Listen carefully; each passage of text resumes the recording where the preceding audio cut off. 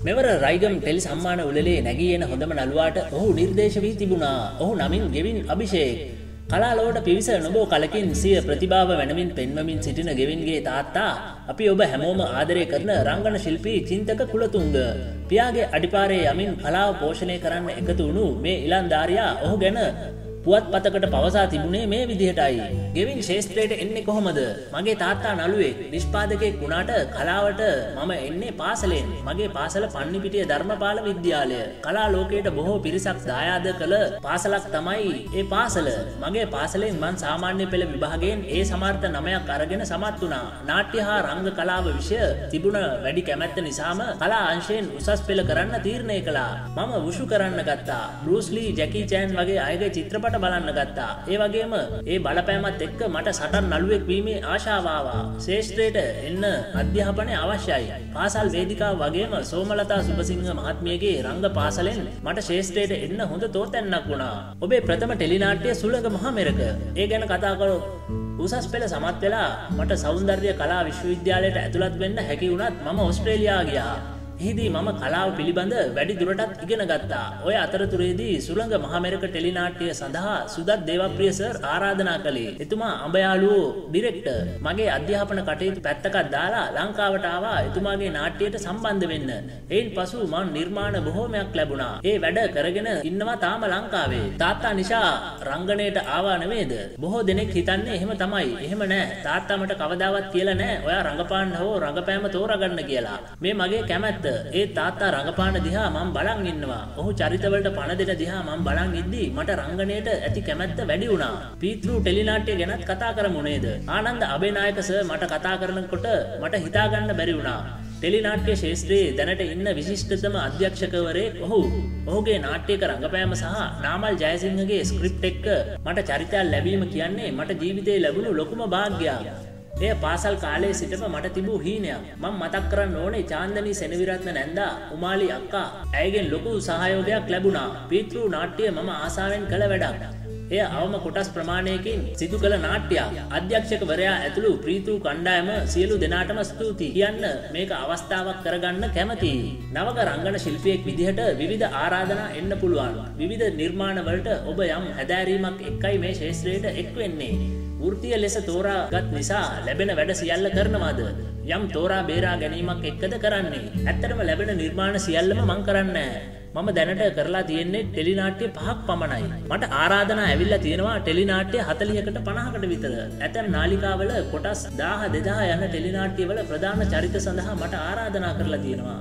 සමහර නිර්මාණවලට පිටපත් නැතුව කතා කරනවා. එහෙම ඒම බාරගන්න මොකද මම ඉගෙනගෙන තියෙන්නේ නිර්මාණයක පිටපතයි ප්‍රබල වෙන්නේ. පිටපත ලැබුණාම ඒ චරිතය බලලා තාත්තා එකත් කතා කරලා එයාගෙනුත් අදහස් අරගෙන මටත් ඒ චරිතයට ආසහිතුනොත් ඒ වගේ චරිත මම කරනවා. ඔබ ඇහුව වගේ අධ්‍යාපනයත් එක්ක මම ශේෂත්‍රයට ඇවිත් තියෙන නිසා අපරාධ කියලා හිතෙනවා එවැනි චරිත නිරූපණය කරන්න යන එක. මොකද නළුවෙක් විදියට මගේ හැකියාව පෙන්වීමටත් නොහැකි එවැනි නිර්මාණවලින්.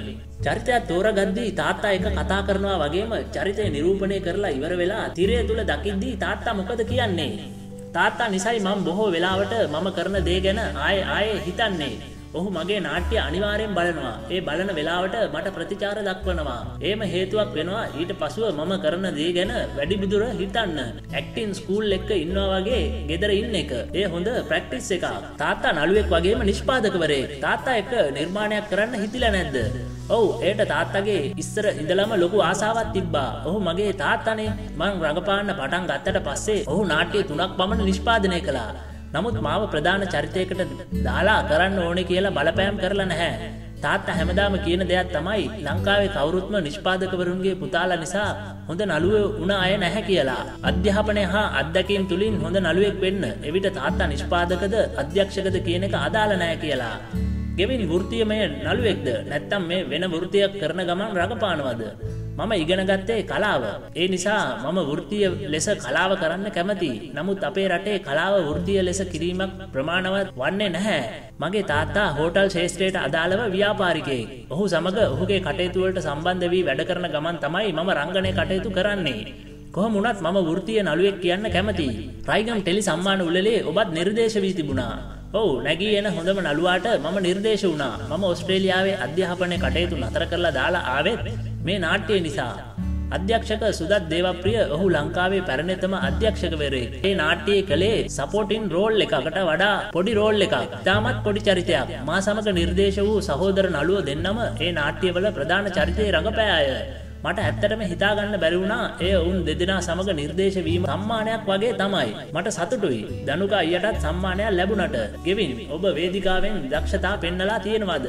වේදිකාව කියන්නේ මම ආසම තැනක්. වේදිකාව නිසයි රඟපාන්න කැමැත්තක් ඇති වෙන්නේ. මම සාමාන්‍ය පෙළ කරන කාලේ බුද්ධික දමයන්ත නාට්‍ය වේදයාගේ නාට්‍යයකට සම්බන්ධ වනා පසුව සෝමලතා සුභසිංහගේ විකෘති නාට්‍යයටත් සම්බන්ධ වුණා. වේදිකා නාට්‍ය රඟපානවා කියන්නේ නළුවෙකුට එය හොඳ ප්‍රක්ටිස් එකක් හොඳ ස්ක්‍රිප් එකක් තියෙන වේදිකා නාට්‍යයකට ආරාධනා කරොත් මං බාරගන්නවා ඔය ඇස් දෙක කාගෙද සිනාසෙමින් අම්මගේ තමයි මට මේ ඇස් දෙක ලැබුණේ ඇස් දෙකට ගැහනු ළමයින් ගොඩක් ප්‍රතිචාර දක්වනවා ඇස් දෙක නිසයි මට ලැබෙන ගොඩක් නිර්මාණ මෙගා නාට්‍ය ඔවුන්ට අවශ්‍ය විශුවල් බියුටි එකක් ගන්න නිසා වෙන්න ඇති.